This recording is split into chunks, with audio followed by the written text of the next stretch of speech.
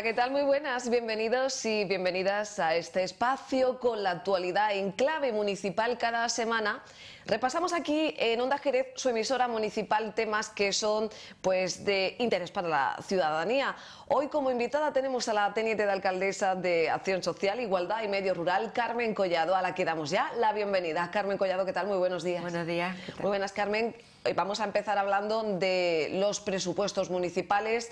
Eh, ya salieron adelante en el Pleno Municipal con los votos a favor de PSOE, Izquierda Unida y Ganemos, la abstención de PP y el voto en contra de Ciudadano. Ahora es el Ministerio de Hacienda quien tiene la última palabra. No obstante, en esos presupuestos municipales, en las cuentas para 2018, se contemplan inversiones de carácter social. De hecho, se han incrementado considerablemente, pero ¿cuánto?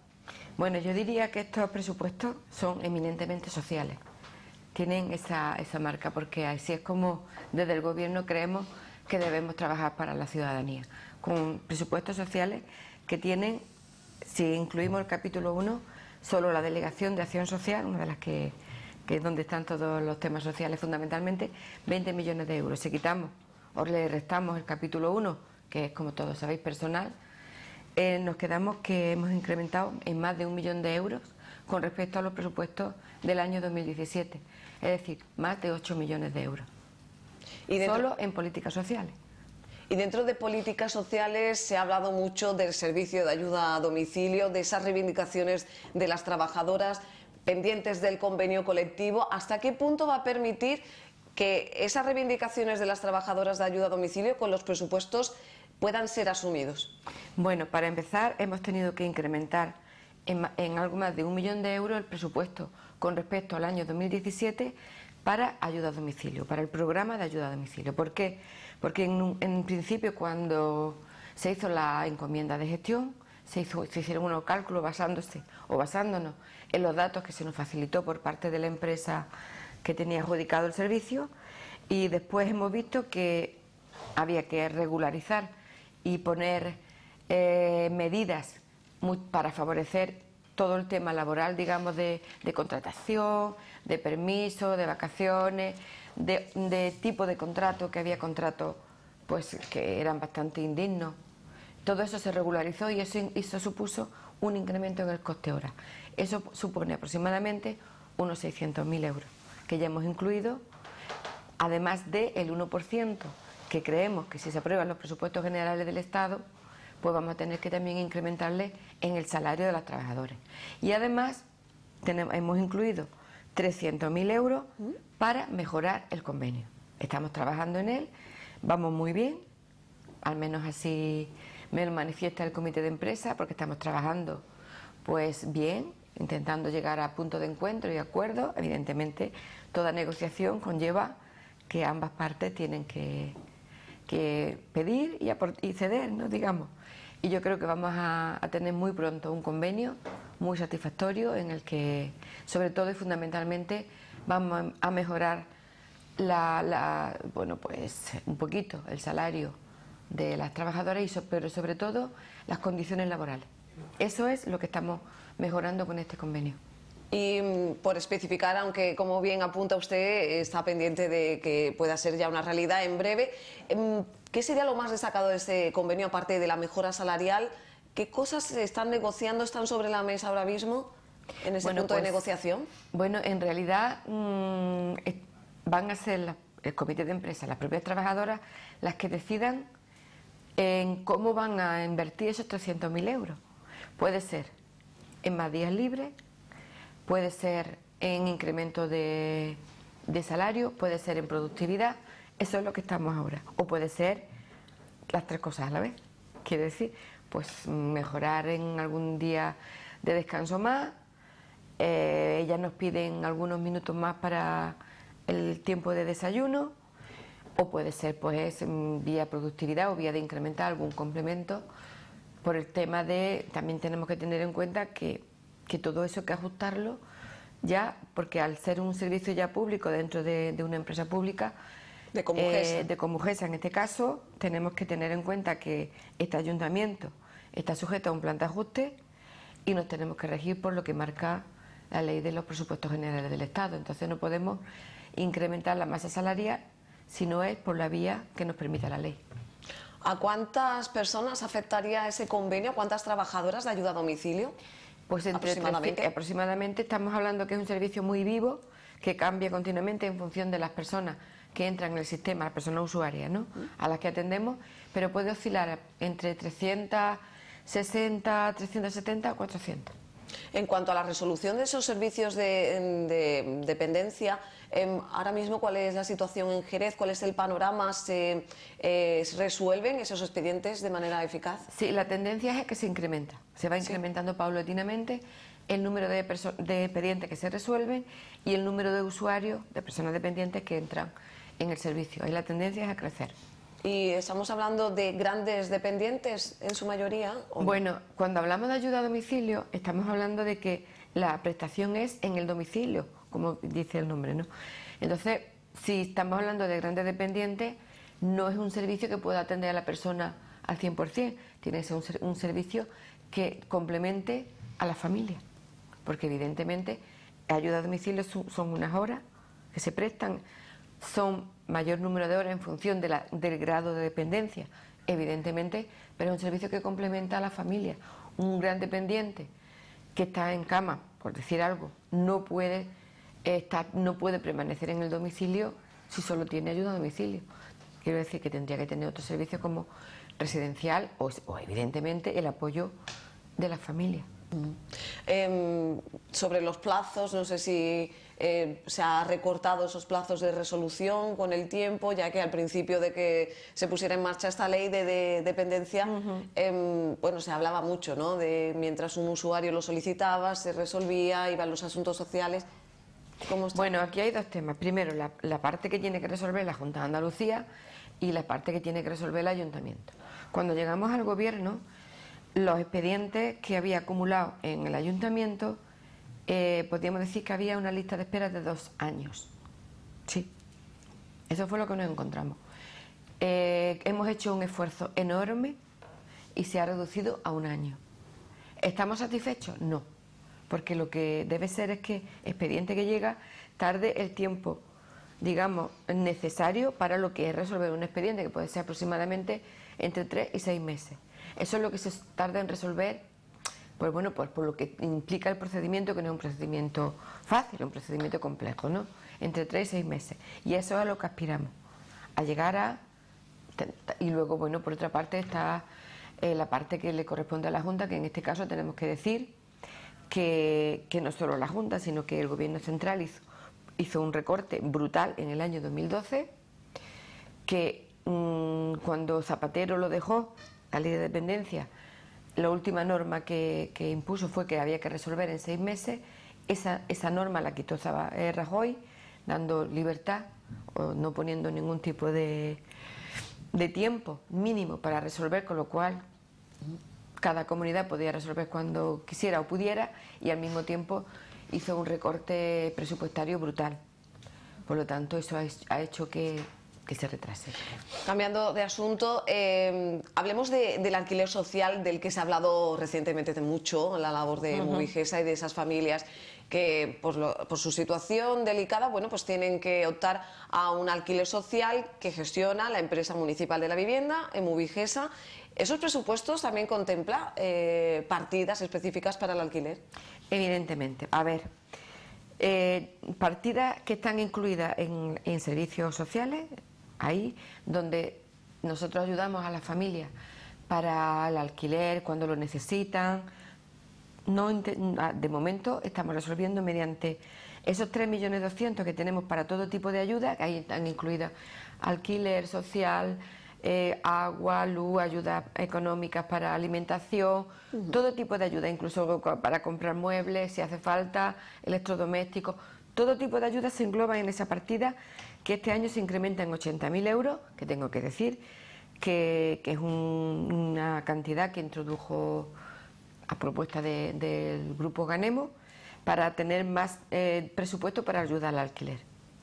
Además, para Emubigesa, bueno, pues este año y el año anterior también, hemos hecho una, inversión directa de pagarle a las familias que están viviendo en viviendas de Emubigesa, bien de alquiler o bien de alquiler con opción a compra, de algo aproximadamente unos 400.000 euros.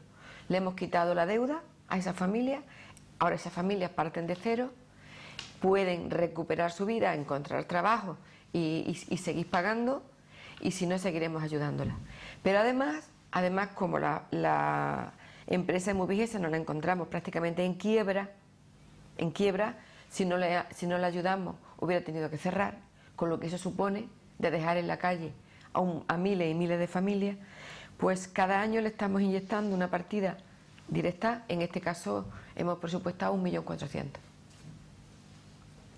Eh, también queremos eh, preguntarle pues, por otros temas que eh, pasan por, por ejemplo, dentro de políticas sociales también el medio rural tiene un apartado bueno especial, el medio rural que usted también dirige, se está hablando de hacer una mesa de catalogación de caminos rurales, pero ¿cuál es la situación en políticas sociales en el entorno rural de Jerez? Ahora mismo, en cuanto a discapacidad, en cuanto cómo es la, zona rural, la zona rural tiene los mismos servicios y tiene los mismos servicios que el resto, las mismas prestaciones, incluso las ELA. Porque mm, en las ELA está transferido prácticamente el 90% de las competencias, pero los servicios sociales no. Los seguimos prestando desde el ayuntamiento. Y todo lo que tiene que ver, o sea, en esa partida están también todas las personas que viven en todo el municipio, en todo el entorno rural. Específicamente, bueno, pues en la Delegación de Medio Rural y dentro del Plan de Desarrollo Rural que que sabes que estamos trabajando, que preside el Raúl Ruiz Verdejo de Izquierda Unida, ahí se ha incluido específicamente 150.000 euros para trabajar de forma transversal desde todas las delegaciones, especialmente en este caso sí que estamos hablando de las barriadas, de las barriadas rurales que dependen directamente del Ayuntamiento de Madrid, no dependen, no son autónomas o no están descentralizadas. En este caso son 150.000 euros están repartidas en diferentes partidas. Una de ellas es lo que han mencionado, esa mesa para ver los caminos, para titular, porque los caminos del municipio de Jerez no están titulados. Sabemos cuáles son, o pueden ser de la Junta de Andalucía, porque sean vías pecuarias o porque sean eh, titular de la Junta de Andalucía, pues hay otros caminos que son de Diputación, pero los que supuestamente son del Ayuntamiento no están titulados. Entonces, bueno, pues vamos a, a intentar con esa partida a ver si podemos de alguna manera empezar a, caminar en ese sentido, ¿no? Y luego, bueno, pues hay también dentro de esos 150.000 euros hay una partida dentro también de acción social específicamente para contratar un trabajador social, un servicio de trabajador social que sea complemento y ayude al equipo de trabajadores sociales de la delegación. Hay también una partida para hacer un mercado gastronómico de los productos y poner en valor todos esos productos gastronómicos que tenemos, toda esa riqueza gastronómica que tiene también la zona rural. Hay otra partida para, para eh, vertebrar y poner en valor también el río Guadalete. Es decir, son 10 medidas que están repartidas en todas, eh, están, digamos, presupuestadas o en una partida específica en medio rural, pero que luego está se va en todas las, o sea, transversalmente en todas las, prácticamente en todas las delegaciones. Educación también tiene un programa, patrimonio, urbanismo, hay partidas en todas. en este mes de abril pues eh, inicia un programa que afecta a las personas con movilidad reducida o que tienen alguna discapacidad. Si antiguamente o hasta hace poco se había, un mes específico para la discapacidad, el ayuntamiento, el gobierno local ha decidido que eh, hay actividades a lo largo de todo el año, ¿no, Carmen? Así es. Siempre se ha, bueno, había, no, no es que no hubiera ninguna actividad, pero eran actividades que no estaban dentro de un programa global, ¿no? Y eso es lo que hemos hecho, englobar todas las actividades, incrementar actividades, además de las que se hacen con motivo del Día Mundial de la Discapacidad, que como sabes al final de, de, septiembre, primero de noviembre. Entonces, pues hay una batería importante que incluye ocio, deporte, eh, actividades en la naturaleza, excursiones a, pues, entre otras a, los Toruños, a la Suara, convivencia, todo tipo de actividades, pues de manera que las personas con discapacidad pues hagan lo mismo o pueden participar en todas las actividades que pueden participar el resto de personas, el resto de la ciudadanía. Y, lo hemos, y, empezamos pues con una actividad muy importante para sensibilizar y formar a los, a los jóvenes y a los niños y niñas en los centros educativos, integrarlos además de manera que vean la discapacidad como algo normal, normalizar y sensibilizar. Algo que debe pues, eh, ser asumido por la sociedad, ¿no? de que todos pues, somos iguales. Efectivamente. Y, bueno, también se está trabajando, ahora que se acerca dentro de unos meses eh, el Día del Orgullo Gay, en erradicar la homofobia. De hecho, lleváis desde hace ya unos meses trabajando la LGTB cerofobia. ¿Y cómo está resultando en los centros educativos esta campaña? ¿Cuál está siendo eh, la aceptación que está teniendo? Muy buena, la verdad es que los talleres son buenos, lo aceptan bien los alumnos y alumnas, pero verdaderamente se nota ahí en donde se ve que hay que seguir trabajando y poner mucho esfuerzo ahí, mucho presupuesto. La Delegación de Igualdad y Salud también ha incrementado su presupuesto en 57.000 euros, que fundamentalmente van a ir destinados a eso, a trabajar en la sensibilización, en la formación, en la prevención, no solo en la LGTB, que, es importante lo que se va a hacer ahí, porque también vamos a, como novedad este año, vamos a trabajar el día 17 de mayo, que es con motivo de la transfobia, también trabajar ahí, no solo en la, el Día del Orgullo Gay, y, fomentar pues eso, la formación, la sensibilización y también en el ámbito evidentemente de la igualdad y la, y la violencia de género importante. ¿no? Este año también hemos tenido un programa novedoso, Creando Buen Trato, con ese ese certamen de poemas con los jóvenes que ha sido todo un éxito, todo un éxito y, que da lugar a que, a que evidentemente el año que viene volvamos a seguir y crear también el segundo certamen. Eh, seguimos con la gala del Padre Igualitario, es decir, incrementar todo lo que tiene que ver con la sensibilización, la formación en los jóvenes, que son los que van a hacer el futuro de nuestra sociedad, no queda otra. Decía que el 17 de mayo, como novedad, ese día contra la transfobia. Eh, después de feria, inmediatamente tendrá lugar ese, esa, jornada. Es, ¿Tenéis ya concretado qué tipo de acciones, a dónde va dirigido a los centros educativos? Estamos trabajando, es también un programa transversal y es fundamentalmente planteado pues, contra los delitos del odio. Delitos. ¿Es una ciudad intolerante al respecto? ¿Tenéis eh, noticias de que haya eh, pues ese odio hacia personas que tienen otro género, otra condición. Jerez siempre ha sido una, una sociedad bastante tolerante, pero eh, tenemos que decir con tristeza que últimamente están surgiendo algunos focos, yo creo que son, espero que sean minoritarios, en los que aparecen pintadas en diferentes sitios de la ciudad. Y bueno, por tuvimos el, el acontecimiento en la feria del año pasado de un ataque a una persona trans y por eso mm, tenemos que trabajar para que eso sea algo puntual y no siga creciendo, sino todo lo contrario.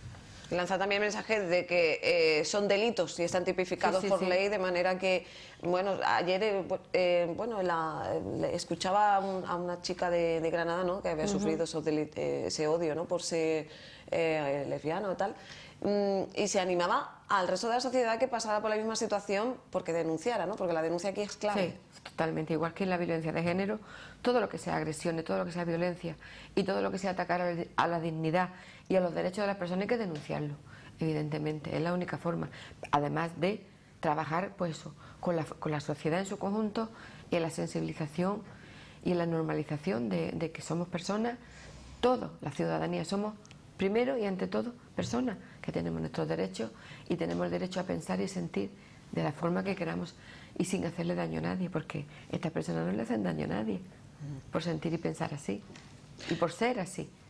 Señor Collado, ¿cómo valora ese día histórico para muchos de paro por parte de las mujeres? Del Día de la Mujer, Jerez se sumó a las concentraciones que se sucedieron por todo el territorio español y fue una de las concentraciones más multitudinarias que se recordaban desde hacía mucho. Yo creo que es de histórico. Ah, podemos hablar de un día histórico porque eh, había como un sentimiento, o percibíamos, las personas, las mujeres de mi generación, percibíamos que la juventud, las mujeres jóvenes y los hombres jóvenes, como que pensaban que ya no había que hacer nada, ¿no? Que como mm, legalmente no hay ningún tipo de discriminación en nuestro país, pues que ya no había que hacer nada. Y luego, pues ese día nos hemos dado cuenta que efectivamente los jóvenes piensan y creen que hay que seguir luchando. Y eso quizás es lo que yo resalto, la gran, enorme participación de mujeres y hombres jóvenes que hubo ese día y esa, ah, ese sentimiento de que efectivamente hay mucho que hacer todavía en el tema de igualdad, muchísimo. en el mundo laboral, en el mundo de la política, sobre todo en los sectores económicos, en la conciliación, en el seno de la familia, en violencia de género. Hay mucho por hacer. El techo de cristal está ahí y no sé yo si decir incluso que está mucho más duro, más difícil de romper y ese suelo pegajoso que está apareciendo en el que nos cuesta a las mujeres levantar y, llegar a esos ámbitos de, poder donde se deciden las cosas. El otro día, en, la alcaldesa y yo estuvimos en un acto que organizaba el, el, el, consulado italiano y tuvimos la fortuna de coincidir con una mujer italiana que ha trabajado en el mundo de la igualdad y decía que le llamaba la atención que en España, en el mundo de la política, hay mucha representación de mujeres, pero que sin embargo en el mundo económico no. Y decía que en su país es al revés. Hay mucha más representación en los ámbitos de poder de las mujeres y en el ámbito de la política no. Y ella pensaba que era debido a las cuotas. En su país se han puesto cuotas en el mundo de la economía y no se han puesto cuotas en el mundo de la política. Luego yo insisto y, quiero que eso nos da argumentos para que esas cuotas que han sido tan denostadas por algunos políticos, por parte, sobre todo a ideología por parte de la derecha, que no era necesario, nos reafirma a mi partido y a nosotras que es necesario poner cuotas para que una vez que ya las cuotas se han instaurado, ya se normalice que las mujeres han demostrado y siguen demostrando que sí sirven. En el mundo de la política son útiles, incluso más en algunos casos, porque bueno, por las diferentes dificultades que hemos tenido, pues ha hecho que las mujeres nos empoderemos o tengamos que empoderarnos y tengamos que formarnos más y demostrar que sí es verdad que trabajar más para demostrar que servimos o que somos igual de útiles que los hombres.